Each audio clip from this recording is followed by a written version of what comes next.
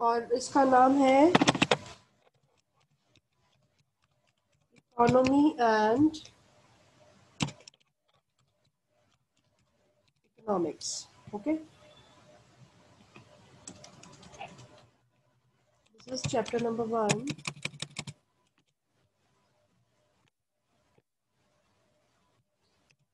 सबसे पहले हम बात करते हैं कि इकोनॉमिक्स होता क्या है है ना? तो फिर प्लीज़ लिखिए आप। इकोनॉमिक्स हाँ जी प्लीज़ लिखिए। और जहाँ पे जिस भी टर्म में आपको प्रॉब्लम आती रहेगी, आप मुझे पूछेंगे, है ना? तो लिखिए it is subject matter that deals with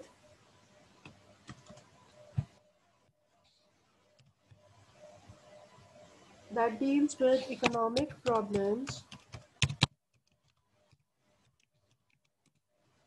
related to human life.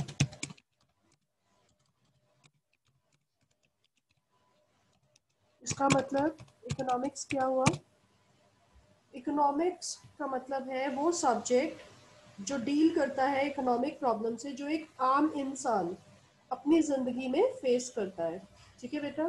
अब यहाँ पे ना हमने एक टर्म यूज़ किया है इकोनॉमिक प्रॉब्लम अब आप ये देखिए कि कैसे इकोनॉमिक प्रॉब्लम्स एक नॉर्मल इंडिविजुअल जो है, जैसे मैं हूँ, आप है या कोई और है, वो डील कर सकता है। कैसे इकोनॉमिक्स प्रॉब्लम को फेस करता है, ठीक है? और इकोनॉमिक्स सब्जेक्ट उसको हैंडल करने में हमारी हेल्प करता है। तो लिखिए please what is economic problem economic problem का मतलब क्या है? We are doing micro economics okay economic problem का मतलब क्या है? It is a problem of choice अब जैसे मान लीजिए आपके पापा आपको हंड्रेड रुपीज़ देते हैं और आपको बहुत भूख लगी है प्रांशु, आप मार्केट में जाएँगे, आप सबसे पहले प्लानिंग करेंगे कि भाई मेरी पॉकेट में हंड्रेड रुपीज़ है, मैं इन सौ रुपए से क्या क्या खा सकता हूँ? उन सब की लिस्ट बना लेंगे कि मैं इसमें से एक बर्गर खा सकता हूँ, या मैं इसमें से एक ये पर्टिकुलर चीज़ खा सकता हूँ। Whatever you are able to consume with that hundred rupees you will make a list वो जो लिस्ट आप बनाएँगे, फिर आप ये डिसाइड करेंगे कि इनमें से कौन सी ऐसी चीज़ है जो जिसकी अर्ज़ मुझे या इच्छा मुझे सबसे ज़्यादा हो रही है। कौन सी पहली चीज़ मैं खाना पसंद करूँगा, है ना? तो आप उसको प्रायोरिटी देंगे। आप उस ऑल्टरनेटिव पे जाएँगे कि सबसे पहले मैं इस सौ रुपए में से इस पर्टिकुलर चीज़ को खाना चाहूँगा, क्योंकि मुझे इसकी ज़्यादा इच्छा हो रही है। तो ये होता है इकोनॉमिक प्रॉब्लम इकोनॉमिक प्रॉब्लम एक नॉर्मल इंडिविजुअल किस चीज़ में फेस करता है कि उसे जितना मटेरियल उसके पास अवेलेबल है, यानी कि अगर आपके पास सौ रुपए है पॉकेट में तो आप उस हंड्रेड रुपीज़ से चॉइस कैसे करेंगे? किन किन चीज़ों को चूज़ करेंगे जिससे आपको मैक्सिमम सेटिस्फैक्शन मिल सके? ये है economic problem so economic problem is a problem of choice कि आपने चॉइस कैसे करनी है? आपके पास ऑल्टरनेटिव यूजेस तो बहुत सारे हैं। जैसे मैंने अभी बताया कि आपने हंड्रेड रुपीज़ अगर पापा से लिए तो पहले आप लिस्ट बनाएँगे कि मैं ये खाऊँगा, मैं उसको पहनूँगा या फलानी चीज़ खरीदूँगा वट जो भी आप लिस्ट में आइटम्स रखेंगे, वो सारी आपकी नीड है। लेकिन उसमें से अर्जेंट नीड कौन सी है? कौन सी नीड को आप फुलफिल करेंगे? That is your economic problem clear हुआ बेटा? बताइए। यस ओके अब इकोनॉमिक प्रॉब्लम होती किस वजह से है? कॉजेज और रीजन ऑफ़ इकोनॉमिक प्रॉब्लम तो लिखिए प्लीज़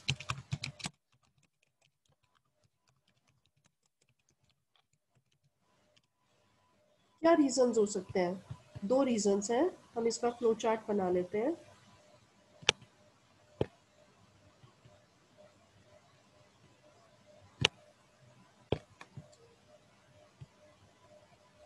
फ़र्स्ट है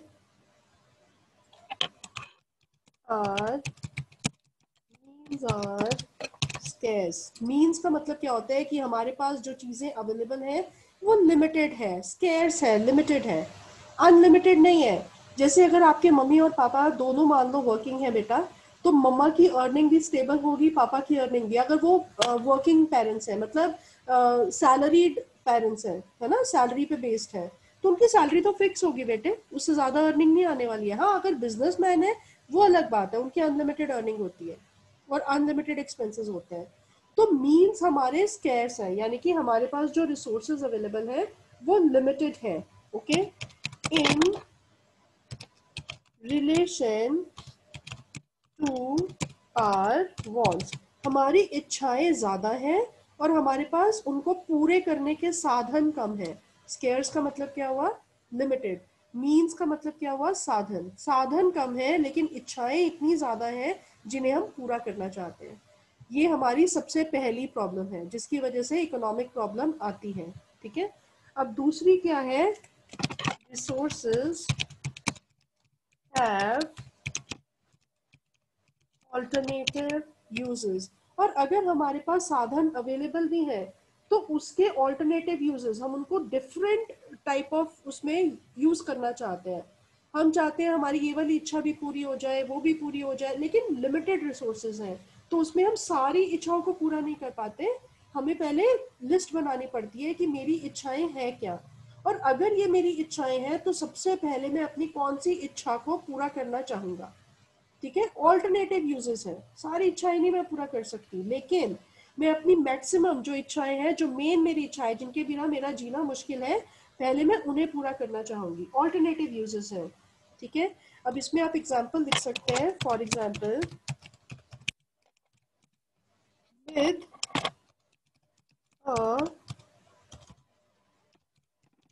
hundred rupee note आपके पास सौ रुपए का एक नोट है, ठीक है?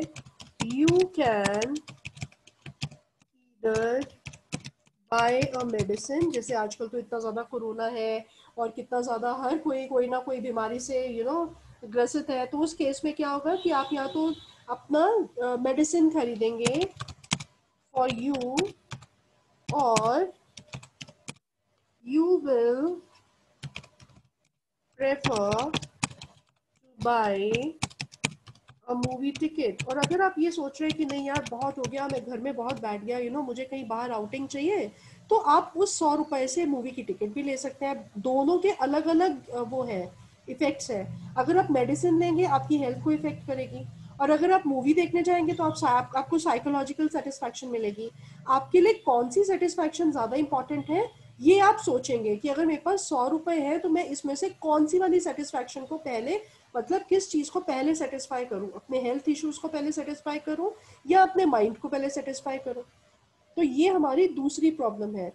This is our another cause of economic problem कि इकोनॉमिक प्रॉब्लम आती किस वजह से है? तो हमने दो चीज़ें पढ़ी। पहली बात कि हमारे पास साधन बहुत लिमिटेड है। स्केयर्स का मतलब होता है लिमिटेड और हमारी इच्छाएँ बहुत ज़्यादा है ठीक है?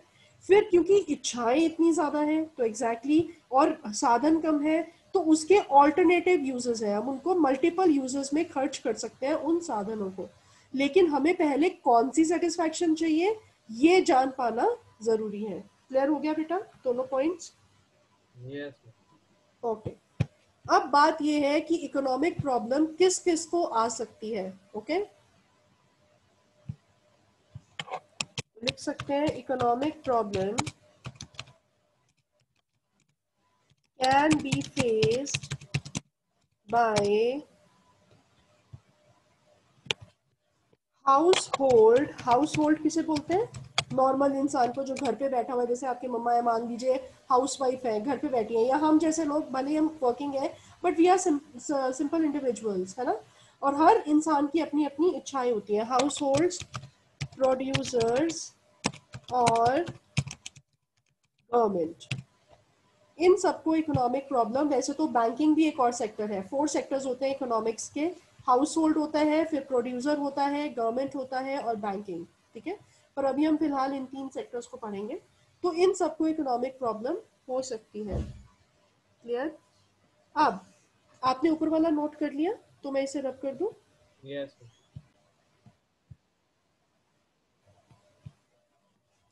एज अ कंज्यूमर तो ये हमारा पहला फैक्टर रहेगा।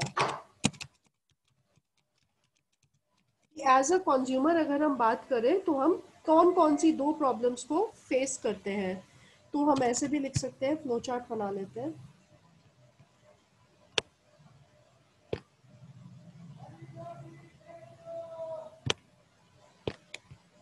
Yes. So the first problem which we face is what to buy? क्या परचेज करूँ मैं? है ना? मेरे पास थोड़े से पैसे हैं पॉकेट में। मैं उसमें से क्या बाय करूँ? और सेकेंड प्रॉब्लम मेरे पास जो होगी, वो क्या होगी? वट नॉट टू बाय और किस चीज़ को इग्नोर करूँ? कौन सी ऐसी चीज़ बाय करूँ, जिससे मुझे सेटिस्फैक्शन मिल जाए, मेरी इच्छा की तृप्ति हो जाए, जिस वजह से मैं घर से बाहर निकली हूँ? और कौन सी चीज़ को मैं अवॉइड करूँ? मतलब मैं चॉइस करने की कोशिश करूँगी, ठीक है? अब इन दोनों की मैं बात अगर कर रही हूँ तो मेरी प्रॉब्लम है what to buy and what not to buy आगे लिखिए please just wait within the given resources. Sorry uh, ये बीच में मिक्स हो गया.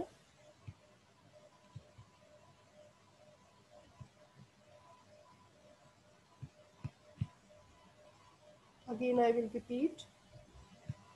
My main problem is what to buy or what not to buy within the given resources कि मेरे पास जो पापा ने पैसे दिए हैं मैं उसमें से किन चीज़ों को बाय करूँ और किन को अवॉइड कर दूँ ये आपके लिए सबसे बड़ी प्रॉब्लम होगी नाउ द पॉइंट इज़ कि अगर आपके पास मिनिमम पैसे हैं तो इकोनॉमिक्स उस प्रॉब्लम को दूर करने में हमारी कैसे मदद करता है?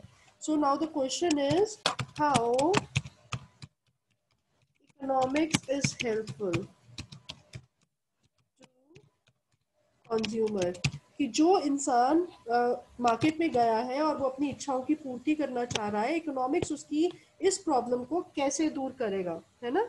So economics teaches the household to use the given resources to use the given resources in such a manner that he will get maximum satisfaction economics क्या करेगा? उसको बताएगा कि भैया, देख रिसोर्सेज तो तेरे पास लिमिटेड है।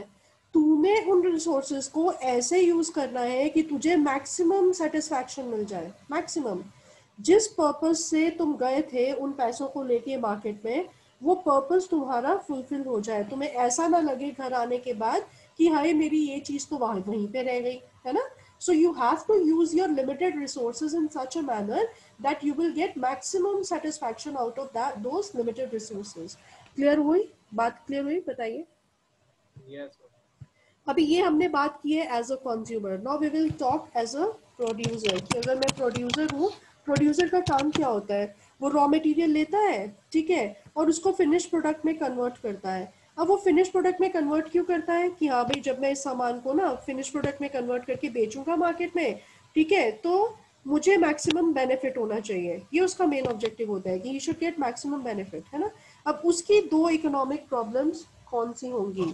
पहली होगी वॉट टू प्रोड्यूस कि वो किस चीज़ का प्रोडक्शन करे, जिसकी डिमांड बहुत ज़्यादा हो मार्केट में और धड़ाधड़ उसके प्रोडक्ट्स जो है मार्केट में जाते ही बिक जाए। And what not to produce और किन चीज़ों को अवॉइड करें। इन दोनों के बीच में चॉइस करना उसकी सबसे बड़ी इकोनॉमिक प्रॉब्लम होगी। इकोनॉमिक वर्ड हम जब यूज़ करते हैं ना बेटा it means we are talking about finance money से रिलेटेड बात करते हैं। तो वो ये सोच रहा है कि मैं ऐसी कौन सी चीज़ को प्रोड्यूस करूँ जिससे मुझे मैक्सिमम प्रॉफिट हो। और कौन सी ऐसी चीज़ अवॉइड कर दूँ जिसकी मार्केट में demand as compare to the item which he has selected is less in the market कि जो प्रोडक्ट मैं चूज़ कर रहा हूँ प्रोडक्शन के लिए, उससे कम उसकी डिमांड हो। तो इन दोनों बातों के बीच में वो रह जाएगा कि मैं किस चीज़ को प्रोड्यूस करूँ और किस चीज़ को प्रोड्यूस मैं ना करूँ। Okay? Within the limited resources. So, what will be his economic problem? His problem will be what to produce or what not to produce within the limited resources. जो उसके पास लिमिटेड रिसोर्सेज है, उसमें वो किस चीज़ की प्रोडक्शन करे और किसको अवॉइड कर दे, ठीक है? ये उसकी सबसे बड़ी प्रॉब्लम रहेगी। Now the point is economics उसकी हेल्प कैसे करेगी, है ना? So now the next question is how economics will be helpful producer कैसे हेल्प करेगी प्रोड्यूसर को? तो एग्जैक्टली exactly वो बोलेगी, भाई देख रिसोर्सेज तो तेरे पास लिमिटेड है है ना? तो बेटर होगा कि तू अपने लिमिटेड रिसोर्सेज को ऐसे यूज़ कर कि तुझे मैक्सिमम प्रॉफिट हो जाए। तू जो भी प्रोडक्ट यूज़ करे, उसकी इतनी डिमांड हो मार्केट में कि वो आराम से बिक जाए और तुमको आराम से प्रॉफिट हो। सो लिखिए please economics teaches to use limited limited resources such a manner that he will maximize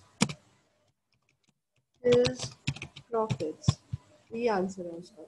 economics help करेगा उसको ऐसी थियरीज देगा जिसमें वो अपना कॉन्सेप्ट uh, लगाएगा और उसे ये पता चलेगा कि हाँ मुझे अपने लिमिटेड रिसोर्सेज को इस तरीके से यूज़ करना चाहिए कि मुझे मैक्सिमम प्रॉफिट हो जाए। Now as अ गवर्नमेंट अब आप गवर्नमेंट है, ठीक है? तो अब आपको क्या प्रॉब्लम आएगी? इकोनॉमिक प्रॉब्लम देखिए।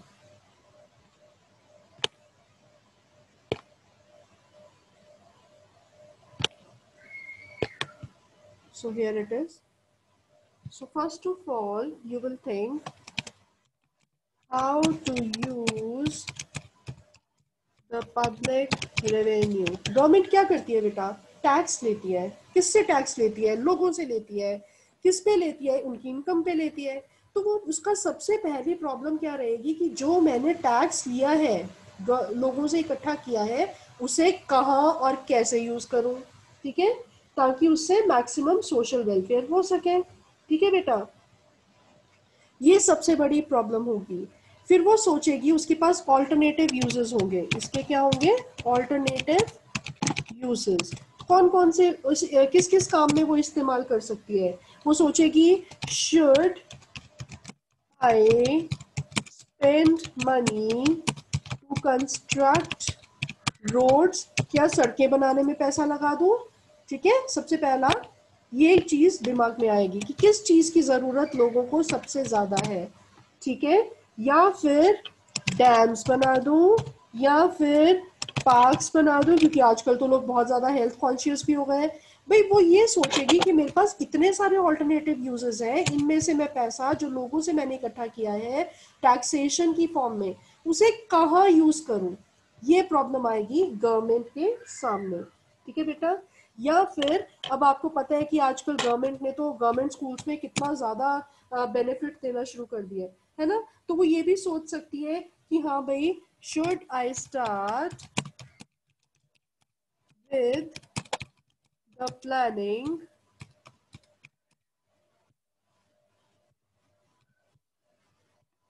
to increase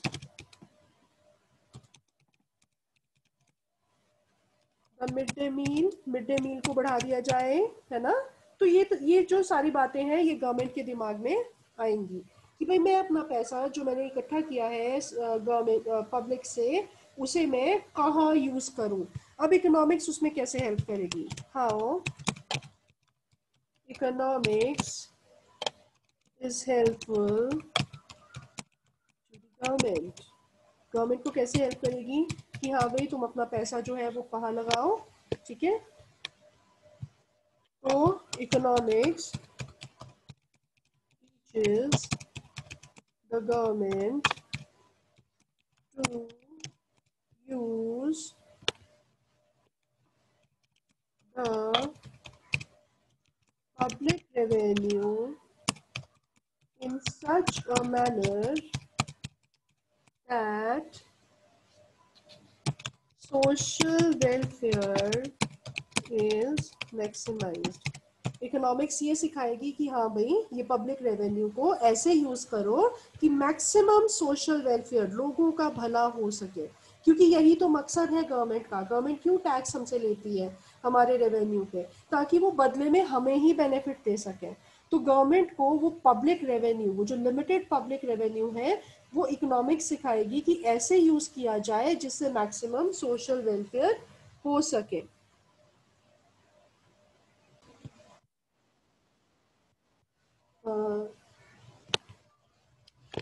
When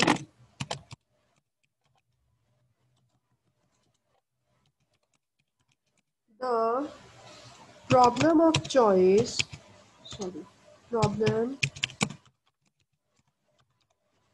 of choice are studied and addressed at an individual level, it is called micro economics ठीक है? अगर हम प्रॉब्लम ऑफ़ चॉइस की बात करते हैं, उनको पढ़ते हैं और आगे उनके बारे में स्टडी करते हैं इंडिविजुअल लेवल पे इंडिविजुअल लेवल की बात होती है, एक कंज्यूमर के बारे में सोच रहे हैं, एक प्रोड्यूसर के बारे में सोच रहे हैं, एक मार्केट के बारे में इंडिविजुअल लेवल पे बात कर रहे हैं, छोटे लेवल पे तो उस ब्रांच को हम क्या नाम देंगे? माइक्रो इकोनॉमिक्स ठीक है बेटा? उसे क्या बोलेंगे? Micro economics whereas when the problem of choice are studied and addressed at the level of the whole country, it is called macro economics इसे हम मैक्रो इकोनॉमिक्स का नाम देंगे, ठीक है? जब हम पूरी कंट्री की बात कर रहे हैं, पूरी कंट्री में हम सारे कंज्यूमर्स की बात कर रहे हैं, सारे प्रोड्यूसर्स की एक साथ बात कर रहे हैं, सारे मार्केट की बात कर रहे हैं। मैं आपको एग्जांपल देती हूँ मान लीजिए हमारे ना फोर प्रोड्यूसर्स हैं ए बी सी और डी ये चारों के चारों ना एक ही प्रोडक्ट बनाते हैं, ठीक है? सेम प्रोडक्ट में डीलिंग कर रहे हैं। अगर हम सिर्फ़ एक कंज्यूमर की बात कर रहे हैं कि इसने टोटल पूरे साल में कितना कमाया या कितना प्रोडक्शन किया या इकोनॉमी को कैसे हेल्प किया तो ये माइक्रो इकोनॉमिक्स होगा बेटा। लेकिन अगर हम इन सब की जॉइंट स्टडी करेंगे A plus B plus C plus D कि चारों प्रोड्यूसर्स ने, मान लीजिए पूरे देश में सिर्फ़ चार ही ऐसे प्रोड्यूसर हैं जो एक प्रोडक्ट में डील करते हैं, ठीक है? और इन चारों के बारे में इकट्ठे स्टडी करते हैं कि इन्होंने चारों ने मिलकर कंट्री को कैसे हेल्प किया तो वो कहलाएगा मैक्रो इकोनॉमिक्स क्लियर हो गई बात? बताइए। हाँ जी। ये वाला क्या था? एबीसीडी में मैंने आपको ये समझाया था कि मान लीजिए ये चारों हमारे प्रोड्यूसर हैं बेटे और चारों के चारों सेम प्रोडक्ट को प्रोड्यूस कर रहे हैं। अगर हम इस बात पे स्टडी करते हैं कि ए ने टोटल प्रोडक्शन पूरे साल में कितना किया और कंट्री को कैसे हेल्प किया या इसकी इनकम टोटल कितनी हुई और गवर्नमेंट को इसने कितना इनकम टैक्स दिया, ठीक है? सिर्फ़ ए के बारे में बात कर रहे हैं तो हम इंडिविजुअल लेवल पे बात कर रहे हैं बेटा। तो ये हो जाएगी माइक्रो इकोनॉमिक्स ऐसी स्टडी क्या कहलाएगी? माइक्रो इकोनॉमिक्स कहलाएगी.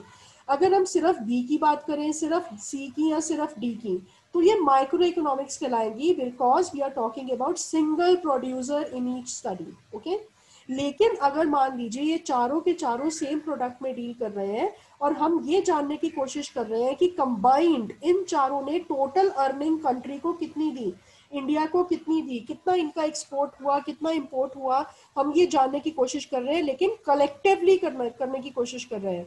उस केस में वो स्टडी क्या कहलाएगी? मैक्रो इकोनॉमिक्स क्लियर हो गई बात? बताइए।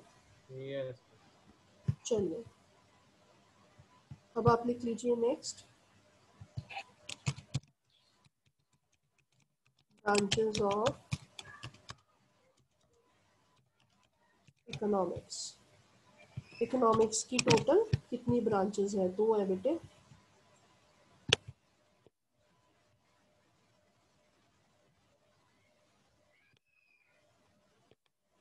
दो है। Number one is micro economics और मैं बता चुकी हूँ माइक्रो इकोनॉमिक्स का मतलब क्या है? माइक्रो का मतलब होता है छोटा, है ना? स्मॉल यूनिट माइक्रो इकोनॉमिक्स ये दो ब्रांचेस हैं बेटे।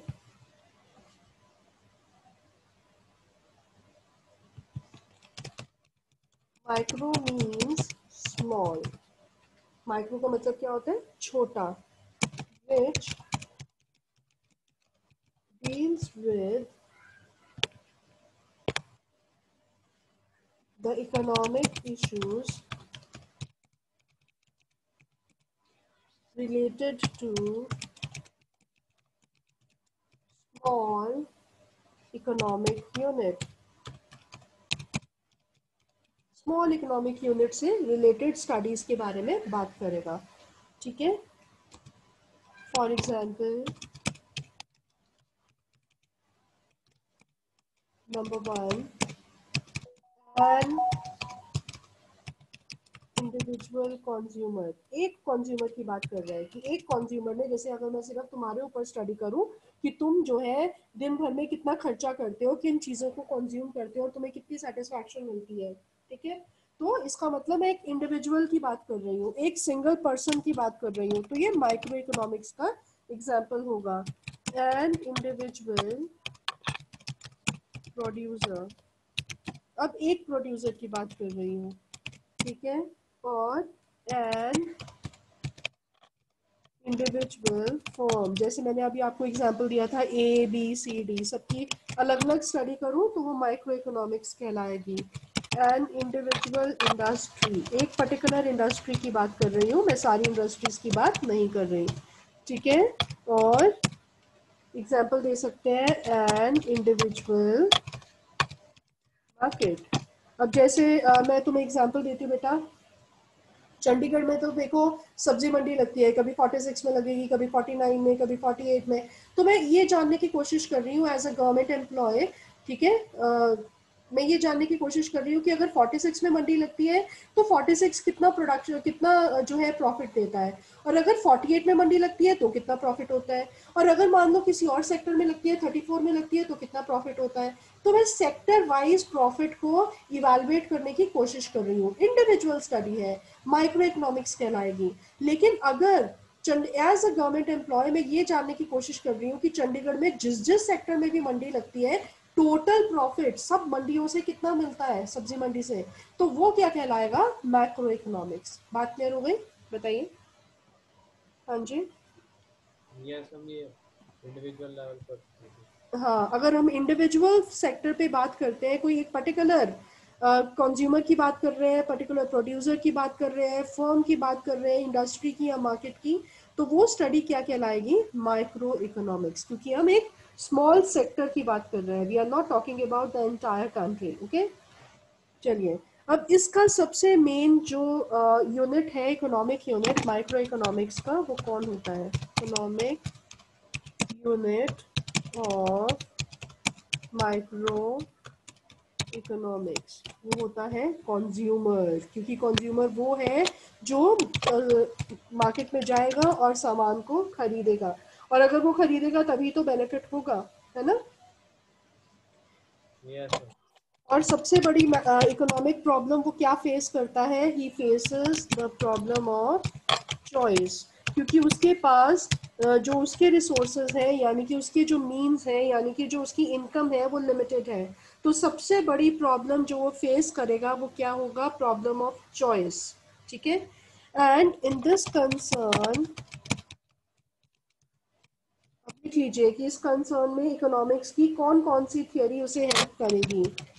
Theory of consumer behaviour we have particular theory theory of consumer behaviour एक तो ये उसे बताएगी कि तुझे कैसे बिहेव करना है with in the limited resources और दूसरी है थियोरी ऑफ़ डिमांड ये दो थियोरीज है जो कंज्यूमर को हेल्प करेंगी उसको चूज़ करने में, जिससे उसे मैक्सिमम सेटिस्फैक्शन मिल सके और वो कहे कि हाँ भाई अगर मैंने इतने पैसे मार्केट में खर्चे हैं तो मुझे पर्टिकुलर सेटिस्फैक्शन उतनी सेटिस्फैक्शन भी मिली है उतना वर्थ मुझे मिला है।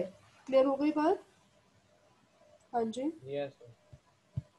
सो अब आप लिख लीजिए what are the two main components of micro economics components of microeconomics. So there are two components. Otherwise this is one the same thing.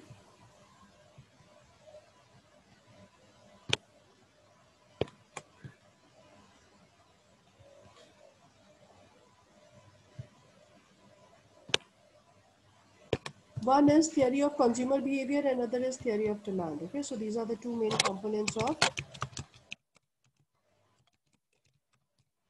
microeconomics. तो आप लिख सकते हैं, आपको ये क्वेश्चन आ सकता है what are the two main components so these are the two main alright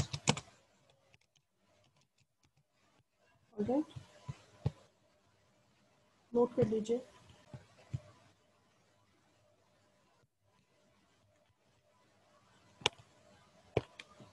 देखिए producer is another most important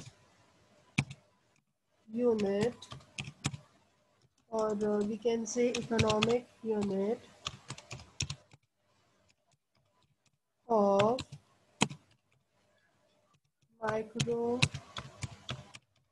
economics ठीक है अब इसको प्रॉब्लम किस चीज़ में होती है what to produce and what not to produce ये हम पढ़ चुके हैं ठीक है क्या प्रॉब्लम ये फेस करता है? Problem of choice in what to produce and what not to produce. कि मैं क्या प्रोड्यूस करूँ और मैं किस चीज़ को प्रोड्यूस ना करूँ? ये मैक्सिमम ये मेन प्रॉब्लम होती है प्रोड्यूसर की। अब कौन सी दो थियोरीज हैं जो इस प्रॉब्लम को या कौन सी ऐसी थियरी है जो इस प्रॉब्लम को दूर करती है? तो लिखिए to study the behaviour of producer theory of supply. Theory of supply has been developed by the economists economists ने theory of supply इसके लिए बनाई है, जिसमें हम ये पढ़ सकते हैं कि प्रोड्यूसर का बिहेवियर कैसा रहता है। वो कैसे ये डिसाइड कर पाता है कि मुझे कौन सी चीज़ प्रोड्यूस करनी चाहिए और किस चीज़ की प्रोडक्शन नहीं करनी चाहिए, जिससे मुझे मैक्सिमम प्रॉफिट हो सके।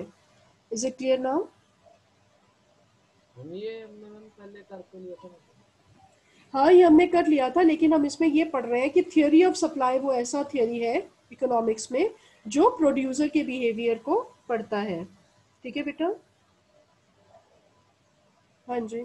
मैम तो इसका मतलब हमने अभी अब क्या पढ़ा? टू इकोनॉमिक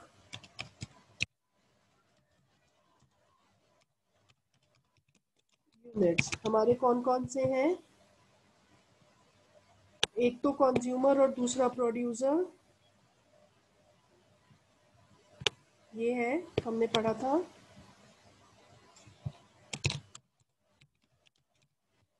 और अनदर इज़ प्रोड्यूसर और बेटे कंज्यूमर और प्रोड्यूसर एक दूसरे से कहाँ कॉम्पीट करते हैं, बताइए? कहाँ पे मिलते हैं ये एक दूसरे से? कहाँ पे मिलते हैं? मार्केट में। मार्केट में मिलते हैं ना?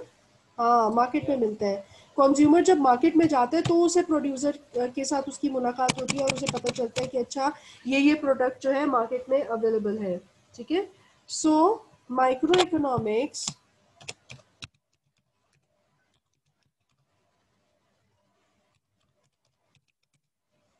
studies,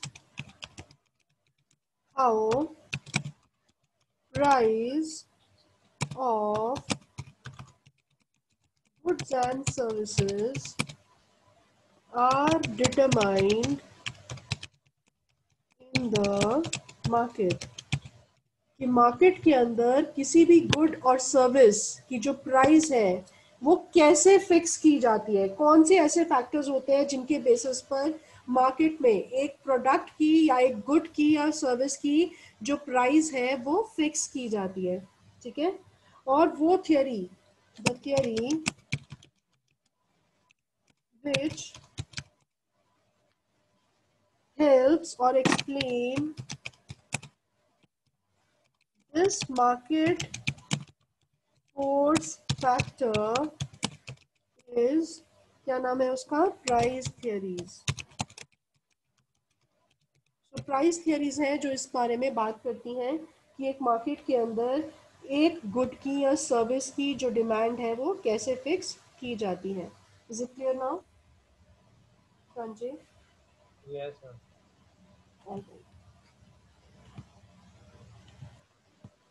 ये 40 मिनट के बाद है।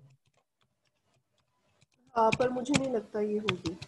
Now components of macro economics चलिए लिखिए। There are three main components number one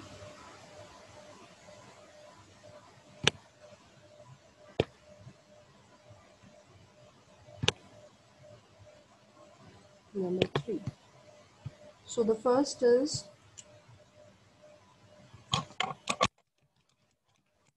theory of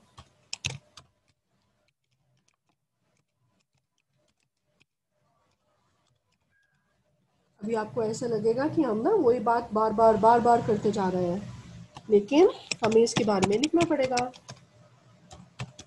Theory of demand theory of consumer behaviour और थियोरी ऑफ़ डिमांड दूसरी कौन सी है? थियोरी ऑफ़ प्रोड्यूसर बिहेवियर और theory of supply okay this is a second component and the last one is area of price अब ती, तीनों के बारे में लिखते जाइए पहले number one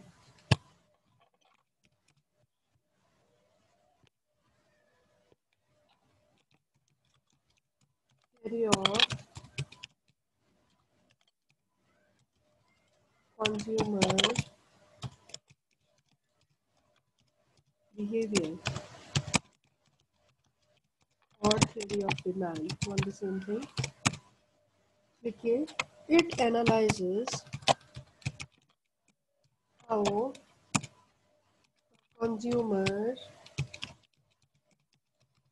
allocates his income to different uses so that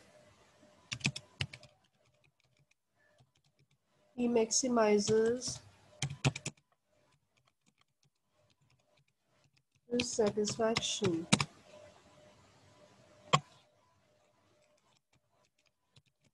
Price demand relationship is the crux of theory of demand अब देखिए, मैं इसको आपको समझाती हूँ। थियोरी ऑफ़ कंज्यूमर बिहेवियर और theory of demand theory of consumer behaviour या theory of demand जो है, वो किस बात किस बारे में हमारी हेल्प करता है या कैसे हमें कंज्यूमर के बारे में बताता है? ये एनालाइज करती हैं थियोरीज कि कंज्यूमर अपनी इनकम को कैसे डिवाइड करता है। एलोकेट का मतलब क्या होता है? डिवाइड करता है। डिफरेंट यूज़र्स में कि मैं अपनी इनकम को कैसे अलग अलग तरीकों से यूज़ करूँ या अलग अलग चीज़ों पे खर्चूं ताकि मुझे मैक्सिमम सेटिस्फैक्शन मिल सके। सो थियोरी ऑफ़ डिमांड में हम किन दो चीज़ों की बात करते हैं? प्राइस और डिमांड की। बेटे, जितनी प्राइस होगी, मान लीजिए एक प्रोडक्ट है, उसकी प्राइस दस रुपए थी पहले दिन। ठीक है?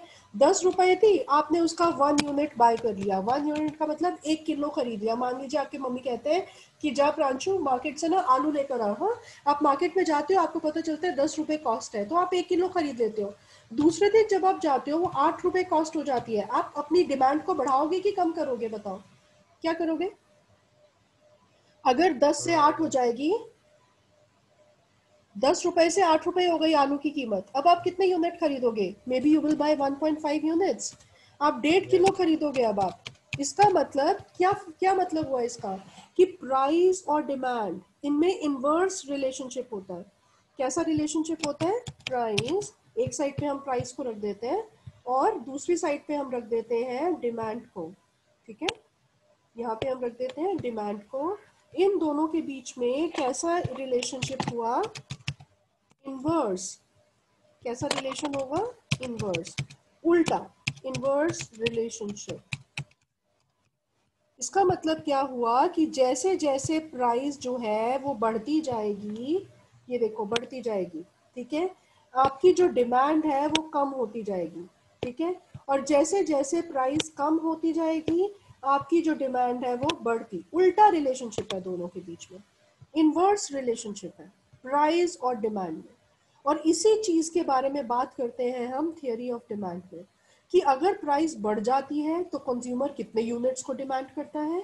और अगर प्राइस उसी चीज़ की कम हो जाती है तो कंज्यूमर का बिहेवियर कैसा हो जाता है कि वो कितना डिमांड करता है?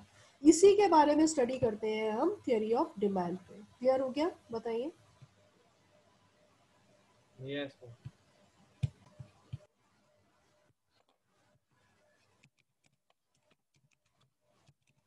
theory of producer behavior or theory of supply okay? It analyzes how a producer decides what to produce and how much कितना मैं प्रोड्यूस करूँ और कैसे करूँ है ना the producer focuses on the maximization of profits उसका मेन फोकस किस पर है कि भाई मैं तो ऐसे काम करूँ जिससे मुझे प्रॉफिट ज़्यादा हो जाए, मेरा कॉस्ट ऑफ़ प्रोडक्शन कम आए और मुझे प्रॉफिट ज़्यादा हो जाए। Price supply relationship is the crux of the theory of supply और इस केस में हम थियोरी ऑफ़ सप्लाई में किन दो चीज़ों के बारे में बात करेंगे? प्राइस और सप्लाई कि अगर प्राइस कम होती है तो मैं कितना सप्लाई करूँगा? और अगर प्राइस बढ़ जाती है तो मैं कितना सप्लाई करूँगा? ठीक है? आपको क्या लगता है इन दोनों के बीच में कैसा रिलेशनशिप होना चाहिए? हाँ जी। अगर हाँ जी। Positive relationship yes very good positive positive relationship होना चाहिए. प्राइस और सप्लाई में. ठीक है?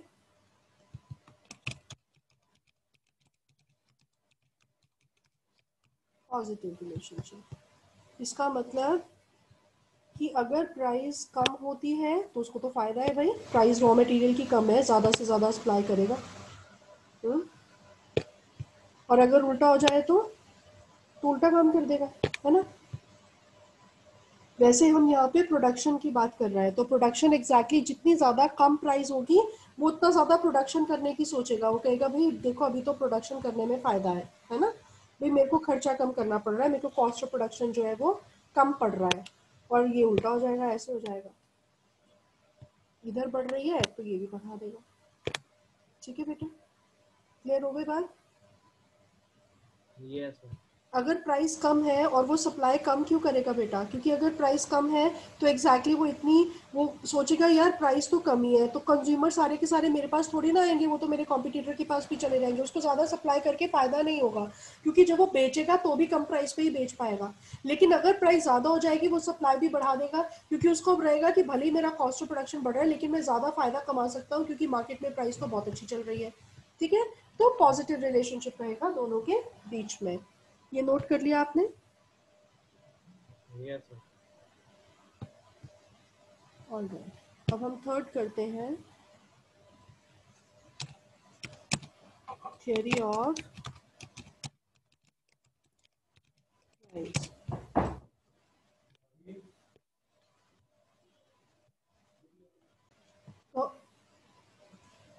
तो हमने पढ़ा कि थियोरी ऑफ़ प्राइस क्या करता है? It studies how the prices of goods are determined in the market कि मार्केट के अंदर प्राइस कैसे फिक्स किए जा सकते हैं?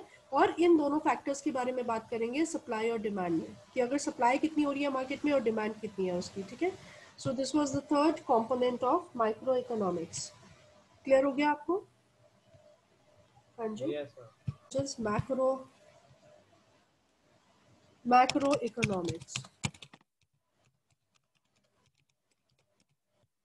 micro economics क्या होता है?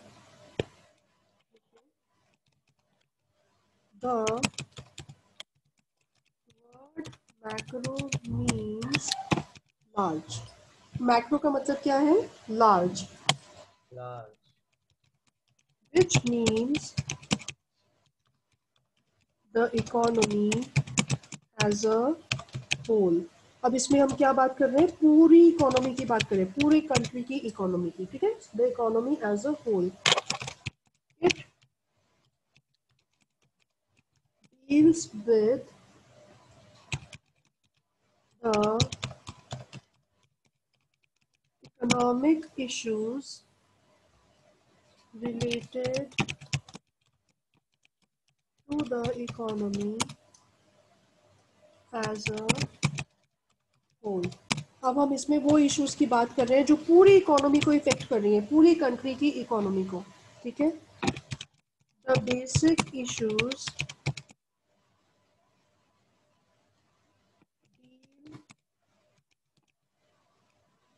here are number one.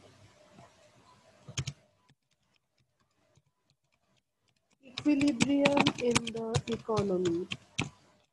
Economy में इक्विलिब्रियम कब आएगा? इक्विलिब्रियम का मतलब होता है the balance between the aggregate demand and aggregate supply. Aggregate का मतलब पता है क्या होता है बेटे? एग्रीगेट का मतलब होता है सम कि टोटल डिमांड और टोटल सप्लाई जो है मार्केट में कितनी है? तो इक्विलिब्रियम अटेन करना. इक्विलिब्रियम का मतलब होता है बैलेंस हो जाना, दो चीज़ों का. ठीक है? और वो बैलेंस कब होगा? कि जितना सप्लाई यानी कि प्रोडक्शन मान लीजिए जैसे सब्ज़ी मंडी की बात करें, पीछे से जितनी सब्ज़ी आ रही है मार्केट के अंदर साथ साथ में मार्केट खाली होती जा रही है. उतनी डिमांड भी है है ना? तो it means aggregate demand is equal to aggregate supply जब ये दोनों चीज़ें एक दूसरे के बराबर आ जाती हैं, हम कहते हैं कि इकोनॉमी में इक्विलिब्रियम आ चुका है, यानी कि कोई भी वेस्टेज नहीं हो रही है। There is no wastage of resources लिखिए it means fully utilization of resources. ठीक है यूटिलाइजेशन जो है वो प्रॉपर हो रही है, कुछ भी चीज़ जो है वो बर्बाद नहीं जा रही है, ठीक है? साथ साथ में मार्केट जो है वो कंप्लीट होती जा रही है, खत्म होती जा रही है है ना? सारे प्रोडक्ट्स नेक्स्ट है disequilibrium in the economy disequilibrium क्या हुआ? कि एग्जैक्टली exactly जब हमारी एग्रीगेट डिमांड जो है, वो एग्रीगेट सप्लाई के बराबर नहीं है, या तो हमारे प्रोडक्ट्स मार्केट में बच रहे हैं, या फिर उल्टा हो रहा है कि डिमांड जो है वो मतलब बहुत ज़्यादा हो रही है ना? ज़्यादा हो रही है और सप्लाई पीछे से कम हो रही है है ना? कुछ भी ऐसा हो रहा है। लिखिए when aggregate demand and aggregate supply are not in the state of balance and resources are not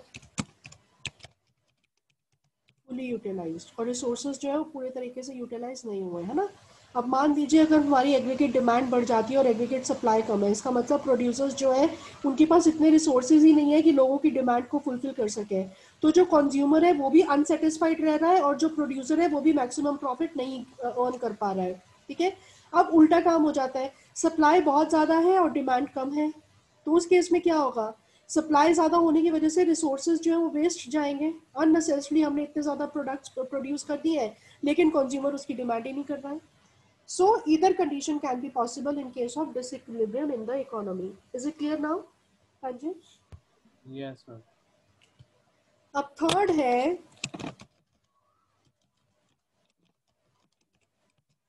correction of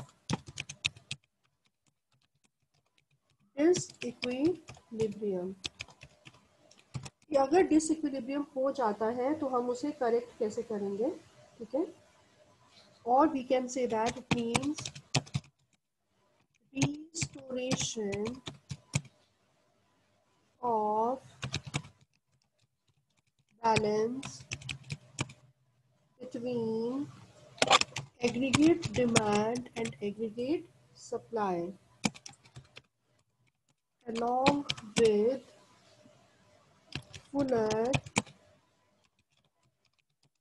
utilization of resources जिसमें हम बैलेंस बनाने की कोशिश कर रहे हैं एग्रीगेट डिमांड और एग्रीगेट सप्लाई में, और हम ये भी देख रहे हैं कि जो हमारे रिसोर्सेज हैं, वो अच्छी तरह से यूटिलाइज हो जाए।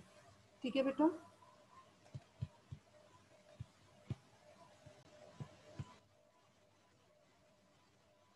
अब हम करते हैं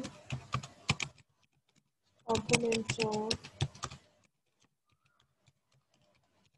मैक्रो इकोनॉमिक्स बना लीजिए दो chart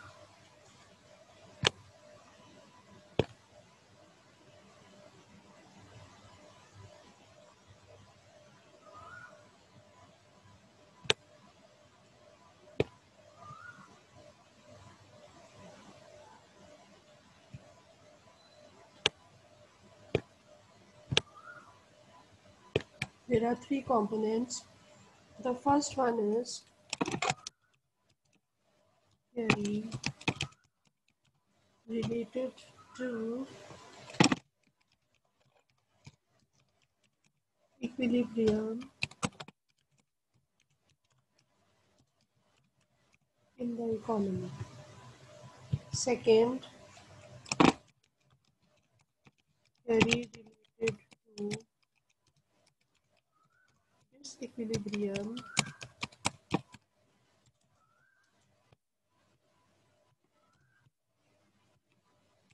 in the economy. And the last is theory related to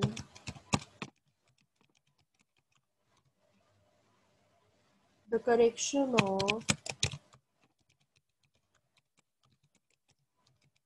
this equilibrium in the column. Okay, so three are there. तो सबसे पहले हम इसके बारे में लिखेंगे।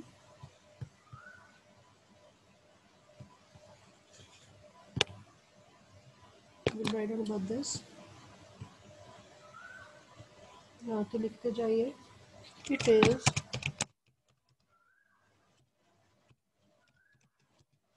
popularly known as theory of welcome and employment ये इसका मेन नाम है theory of income and employment it studies how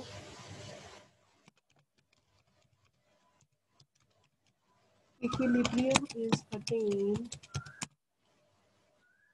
when aggregate supply comes equal to aggregate demand in the economy इसके बारे में बात करते हैं कि हम ऐसे क्या काम करें जिससे कि एग्रीगेट डिमांड जो है वो एग्रीगेट सप्लाई के बराबर आ जाए और हमें इक्विलिब्रियम अटेन हो जाए। ठीक है? Now the next one write down this is the theory of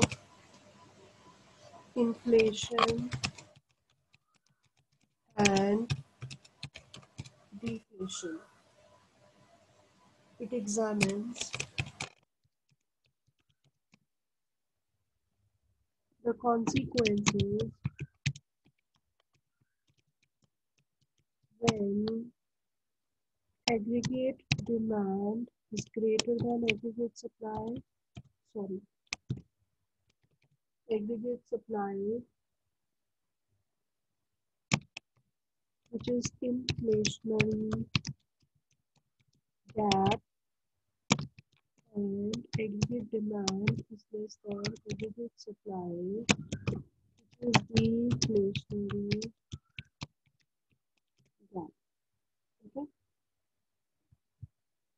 Now the next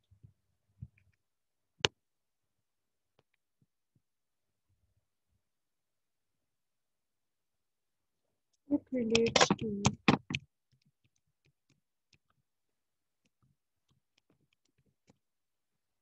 number one monetary policy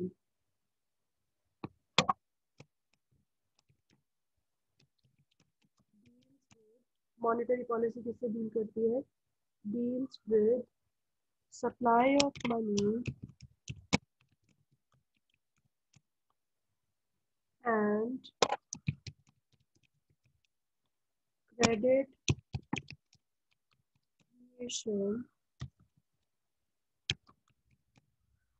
credit creation by commercial banks okay this is monetary policy कि मार्केट uh, में money की supply कितनी है कितना पैसा available है okay? Money की supply कैसे चल रही है और दूसरा कि जो कमर्शियल बैंक है, वो कितने लोन वगैरह दे रहे हैं? And the second one is fiscal policy fiscal policy deal with government budget and the impact of budgetary deficit in the economy भी गवर्नमेंट का बजट कितना है? कोई खर्चा करने का? और अगर कम पड़ जाता है बजटरी डेफिसिट हो जाता है तो उसका इम्पैक्ट इकोनॉमी पे क्या हो रहा है? ठीक है? And now the third one so third one I will write on somewhere here third one. Is exchange rate policy.